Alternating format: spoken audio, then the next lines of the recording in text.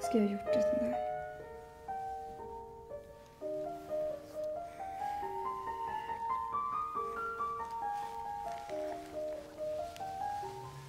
Men hon gör det. Jag tror det.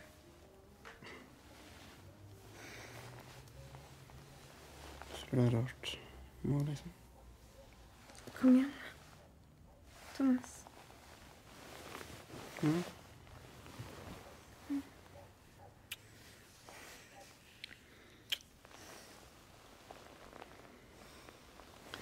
知样な。